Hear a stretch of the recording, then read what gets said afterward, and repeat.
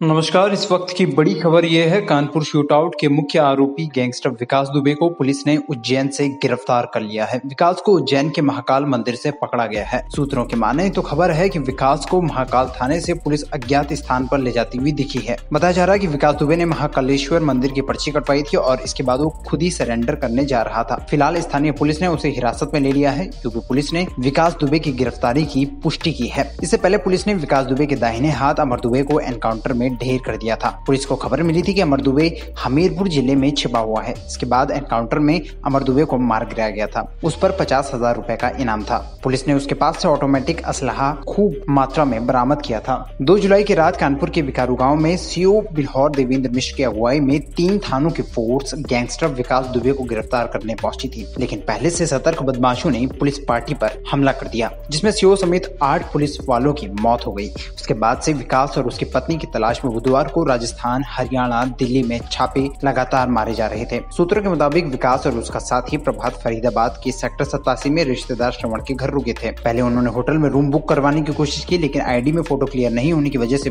नहीं कर पाए। सूचना मिलने पर पुलिस ने छापा मारा, पर विकास पहले से ही भाग गया था। इसके बाद से ही यूपी समेत कई राज्यों की पुलिस विकास दुबे को गिरफ़्तार करने के लिए दबिश दे रही थी। बीच में विकास के दिल्ली एनसीआर में छिपे होने की भी खबर आई थी, लेकिन वो एक बार फिर पुलिस को चकमा देकर भाग निकला था। विकास के करीबी अमर दुबे को पुलिस ने एनकाउंटर में मार गिराया था। उसकी मौत के बाद पुलिस ने उसकी पत्नी, खुशी दुबे, पिता संजू, उर्फ़ संजीव दुबे, शांति देवी, विनय कुमार, श्यामू वाजपेयी जहान यादव व के के शर्मा को भी गिरफ़्तार कर लिया था।